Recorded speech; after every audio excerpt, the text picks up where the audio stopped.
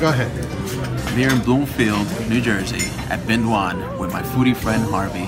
Now, I myself, I've never done the Vietnamese thing, but Harvey speaks highly of it, and so that means I gotta try it.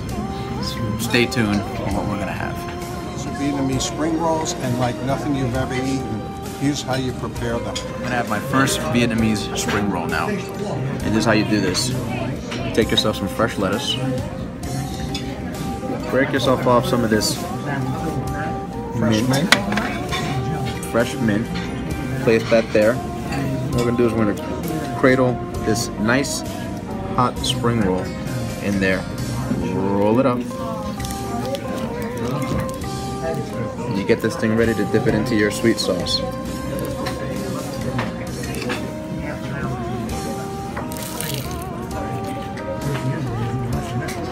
That is good. The best fried squid in New Jersey. Check. Harvey tells me this is the best fried squid you're gonna find. And I'm gonna see if that's true or not. Grab me some of this piping hot squid, dip it in this sweet hot sauce. Here we go. I think he's onto something.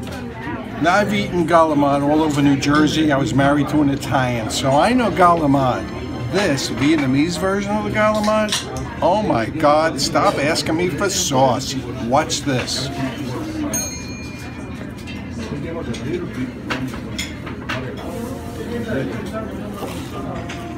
Oh man, it's like candy.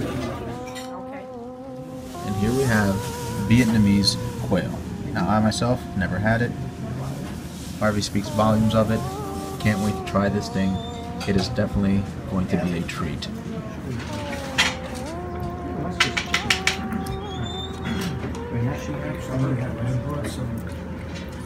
I don't know what took me so long to have quail.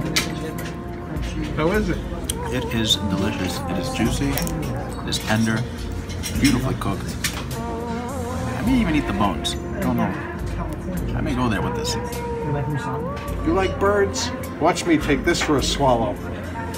Shrimp satay.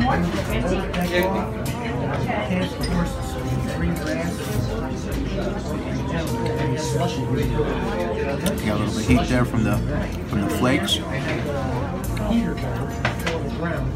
think I taste some ginger in there that's coming in on the back end.